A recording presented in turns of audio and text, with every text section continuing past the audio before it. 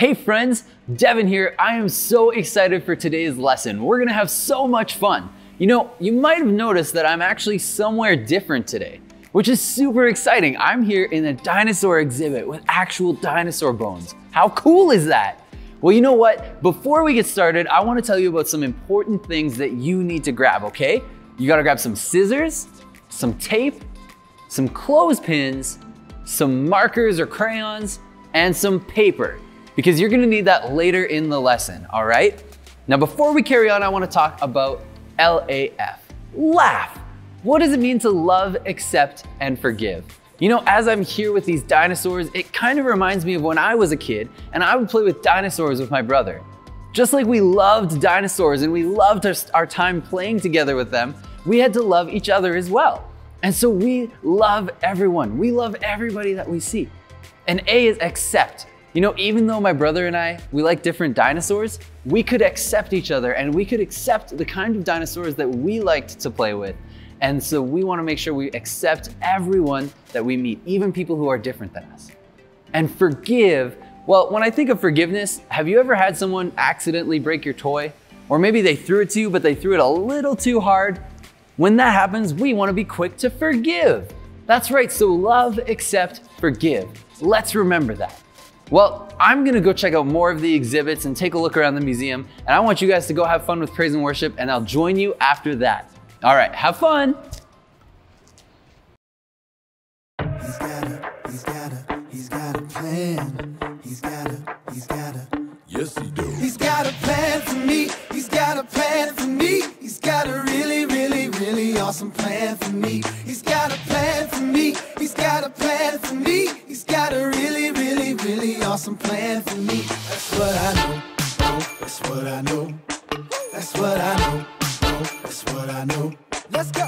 I know that I can trust him. I know that I can trust him. No matter what the season, his plans are for a reason.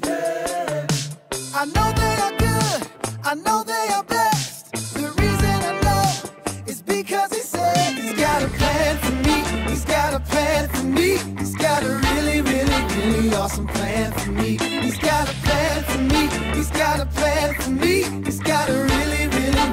Awesome plan for me. That's what I know. Oh, that's what I know. That's what I know. Oh, that's what I know. And when I'm feeling so sad,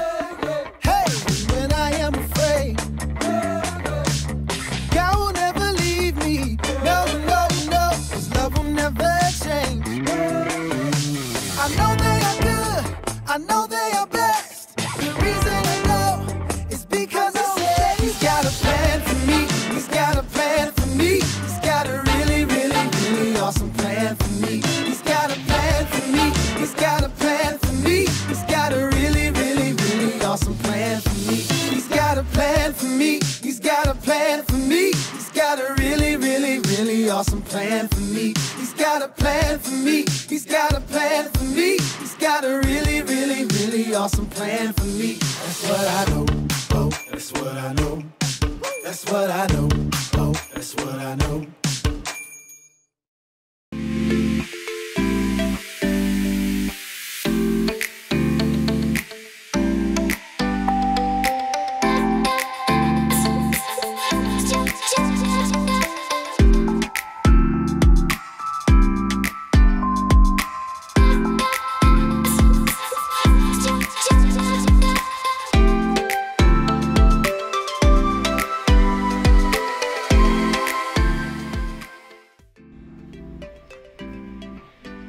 Wow, great job, friends. You guys did so awesome. You know, I had so much fun exploring around here. If you haven't guessed yet, I am at the Manitoba Museum and I'm so excited to be here looking at all these cool things. And you know what? We're gonna get into some more, but first I wanna talk about our memory verse. Do you guys remember it? All right, the memory verse goes like this. Follow along with me. I'll show you the actions too, okay? God's way is perfect. 2 Samuel 22, 31. All right, you think you got that? Okay, let's do it again. Here we go. God's way is perfect. 2 Samuel 22 31. All right, I'm gonna do it one more time to make sure you've got it right. Okay, here we go. God's way is perfect. 2 Samuel 22 31. Well, you know what? The reason that we're at the Manitoba Museum today is because it reminded me of this amazing Bible story that we are learning from today because they have a huge ship here. Now, you may have been on a boat before. Maybe you were on a boat that looks like this, or on a boat that looks like this, or maybe you were on a boat that looks like this.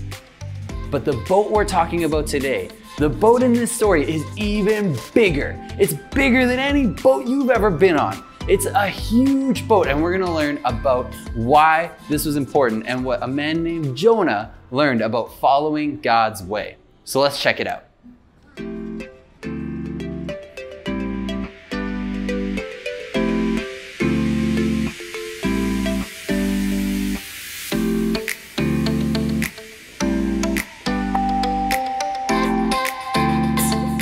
Behind me is some of the stuff that they would load onto this boat if they were going on a big journey. Boats this big would go on journeys for sometimes up to months. That's like a whole summer vacation. And you know what?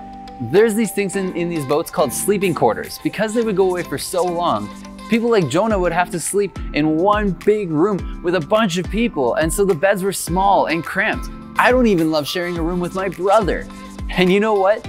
It was so big, but when Jonah decided to get onto this boat, you'll, you'll see what happened because he decided not to follow God's plan. Now, if you live in Manitoba, I want to invite you to come check out the Manitoba Museum. It is so cool, and I'm so thankful that we got to come and show you guys this really cool boat. Well, let's find out what happened to Jonah when he got onto this boat.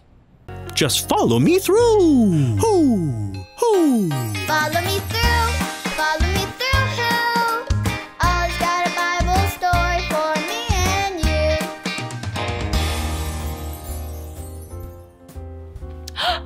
hello, hello. I'm Aisha, and welcome to my cupcake food truck. Do you want to see my latest creation? Ta-da! these are my fishtail cupcakes. Aren't these little fish so cute? they remind me of today's story. It's a big fishtail. Are you ready? If you're ready, on the count of three, yell, tell me a story. One, two, three. Tell me a story.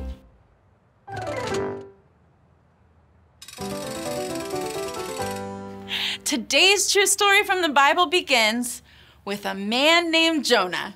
Everyone say, Hi, Jonah! Hi, Jonah! One day, God told Jonah to go to the city of Nineveh. Whoa! Jonah, wait! You're going the wrong way! He doesn't want to go. Can you help me call him? Jonah! Jonah! There he is. now, God told Jonah to go to Nineveh and tell the people to go God's way. But as you can see, Jonah didn't want to go to Nineveh. Jonah thought he had a better idea. He wanted to go sail on a boat far, far away from Nineveh. Now, can you guys tell Jonah what he should do? Should he go Jonah's way or jump, jump, and go God's way? yes, he should jump, jump, and go God's way. Say it with me. Jump, jump, go God's way. Jump, jump, go God's way. oh no, he's not going God's way. He's sailing away. Oh, Jonah, God's way is always perfect. I wish you would trust him. But Jonah wanted to do things his way. While Jonah was on the boat, a big storm came up with wind. Can you guys rub your hands together like this? And then rain. Can you guys pat your legs? It rained more and more, harder and harder. Jonah knew God sent the storm for him. So, in order to save the other people on the boat, he threw himself into the water. The storm stopped. Then God sent a giant fish to swallow Jonah. There, Jonah was inside the big belly of the big fish. Everyone say, Hi, Jonah. Hi, Jonah. Now, do you think you should have gone God's way, Jonah? Sometimes we think we have a better way, but God's way is perfect and we can always trust Him. Jonah prayed and told God he was very sorry he did not go God's way. Then he praised God and knew that God's way is perfect. When Jonah was finished praying, God made the giant fish spit Jonah out onto dry land. Welcome back, Jonah. Are you ready to jump, jump, and go God's way? Good job! So, Jonah went to Nineveh, and guess what? The people decided to go God's way because God's way is perfect. Did you like the story? If you did, give it two thumbs up. Two thumbs up! hey there, Ollie. Tell me, whose way is perfect? God's way is perfect. Yes, it's true. Now let's hear it from you. Tell me, whose way is perfect? God's way is perfect. That's the truth, friends. You better believe it. See you next time. Bye. Friends, that was an amazing true story from the Bible. It is so cool that we can learn from things that actually happened from people so that we know how to follow God's way right in the beginning. Well, do you have the stuff that I asked you to get earlier? Those supplies? Because I've got them here and I'm so excited to do our craft because I figured doing a craft would help us remember today's lesson very well. So for this, you're gonna need some paper, you're gonna need some scissors, you're gonna need a marker, and you're gonna need some tape and a clothespin, okay? So each of you go grab that stuff right now if you don't have it yet. And if you have it, we are gonna go through the lesson right now. I wanna show you this craft. So what you're gonna do is you are going to take a piece of paper and you're gonna draw a whale.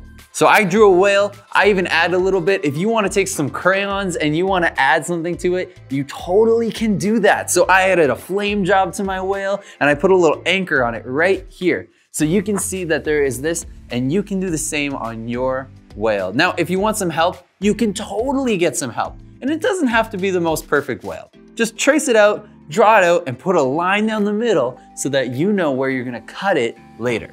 Okay, so once you've got your whale cut, I'm gonna show you what I did here. I've got my whale, and this is another one that I did, and so it's, it's cut out, and on the back, I just taped my clothespin right here. So now, when I do this, watch. The whale can open his mouth. How cool is that? So you guys can do this craft right at home. Now, I didn't put any flame jobs or cool things on this whale. He's just got his eyes and a little blowhole right up here. And so this is where he can open his mouth, just like that. Now, you can take some time to do this right now or after the video, but I wanna show you how this can be kind of like our lesson. I have my whale here, and this is Jonah. Hi everyone. So this is Jonah, and he was going along and he wasn't following God's way. He didn't want to listen to God's way. He decided that his way was better. But you know what happened? This whale came along and it ate Jonah. Just like we saw in our Bible story, it ate Jonah up. And he spent three days in that whale. And he had some time to think about the choices he made. And you know what happened? When he decided to start following God's way, when he asked God for forgiveness, God forgave him and decided that he was gonna let him come out of that whale. And so the whale spit him up just like this. And he spit Jonah out of the whale. And then Jonah decided to go to Nineveh and preach to people and tell them about God. And you know what happened? He saved that entire city. So many people turned and started following God because Jonah decided to follow God's way. Friends, how can we follow God's way today in our lives? I want you to think about that because just like Jonah, we can learn from him that if we go the wrong way, it's gonna be a lot harder. And you know what? We all make mistakes. And when we do, God is ready to forgive us. But if we can follow God's way right from the beginning, life is gonna be so much better and so much more amazing. Friends, can you pray with me? Let's close our, our eyes and put our hands together, okay? Dear God, thank you so much for the story of Jonah. Thank you that we can learn from this story and that we can follow your plan right in the beginning and not try to go our own way instead. We thank you that your way is the best way and that you help us in everything we do. So, Holy Spirit, we thank you and ask you to show us the right way every time we end up needing to make a decision, whether it's hard or whether it's easy. Guide us and help us with that. Thank you for loving us. In Jesus' name, amen. We have learned a lot about Jesus today, and we've talked all month long about following God's way. And you know what? If you want to follow God's way, I want to help you make that choice today. So, what you can do is you can actually ask Jesus to be in your life and to be your very best friend. See, Jesus has always wanted to be our best friend, but there's something called sin, and that's all the bad things that we've ever done. Any mistakes that we've made, or times that we've done something wrong. And Jesus decided to come to earth, and he lived a perfect life. He never told a lie, he never hurt someone, he always did the right thing. And because he lived a perfect life, people got, people got angry about it. And in fact, Jesus had to die. But the important thing is, Jesus didn't stay dead, and he came back to life. And because he came back to life and he lived the perfect life, we can be his friends forever. And it's as easy as saying a prayer, which is talking to God, kind of like how I'm talking to you right now. So if you want to join this, if you want to make the best decision you could ever make and follow God's way, then I'm going to invite you to say this prayer with me right now. It's as simple as this. Can you close your eyes so you can hear the words that I'm saying? Okay, I don't want you to be distracted. It goes like this. Repeat after me. Say, Dear Jesus, thank you for loving me. Forgive me of my mistakes. I believe in you. I thank you. And I love you. I want to follow you for the rest of my life. So I'm asking you to come into my heart and be my best friend. In Jesus' name, amen. Amen. That is so awesome. You know, I am so proud of you. I wish I could give you a high five or a hug right now. And we're going to explain more and more about this. So keep watching so that you can learn more about how to follow Jesus every day of your life. And you know what? I want you to do a favor for me. Don't just keep it to yourself. Go and tell someone in your family that you asked Jesus to be your best friend today because that is something so cool that we want to celebrate. So go ahead and tell someone in your family, and you can even ask your parents to send an email to kids at springschurch.com or contact us on Facebook or Instagram, and I would love to give you a Bible and teach you more about what it means to follow Jesus. Because this choice you made is the best thing you could ever choose to do. So I'm so happy for you and so excited, and I cannot tell you how much I am pumped that you made this choice. Well, you know what, friends? We've got a quick question today. So I asked it earlier, and I want you to think about this today. What does it look like to follow God's way? How can you follow God's way? Maybe it's looking like loving your brothers and sisters, or loving people in your family more, or being a better friend. There are so many ways that we can choose to follow God's way. So think about it this week. Remember, how can you follow God's way? Well, thank you so much for joining me today, friends. Like I said, I'm at the Manitoba Museum, and if you live in Manitoba, go check out this museum. It is super cool, and I want to say thank you to the Manitoba Museum for letting me come here and film this and show you guys this boat. Well, you know what? I can't wait to see what our next adventure brings. So I love you guys. Have a great week, and we'll see you soon.